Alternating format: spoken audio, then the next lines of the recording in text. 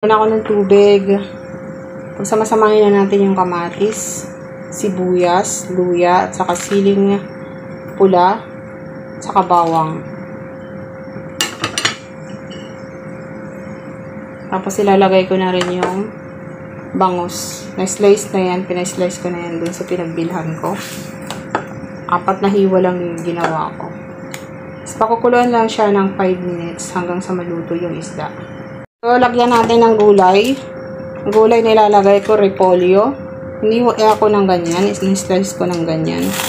Pag nailagay na natin repolyo, mga 2 minutes na lang yan. Antay na salt.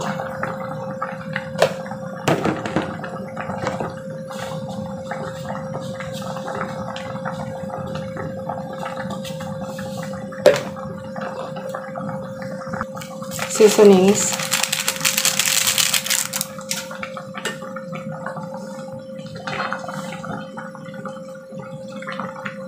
Then, already done na.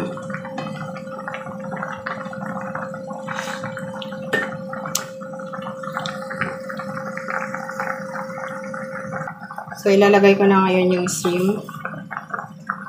Add lang ako ng shrimp.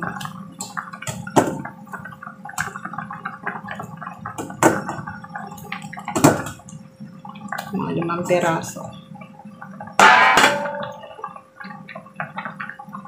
Dahil lang kasi yan maluto, kaya last kong inilalagay yan. Para hindi siya mag-overcook yung hipon.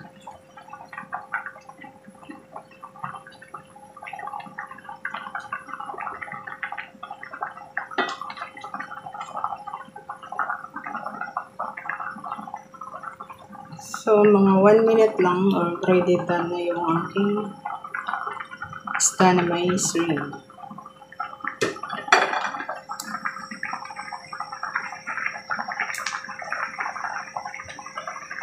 Already done na guys. Thank you for watching. And saka follow my Facebook page and my TikTok.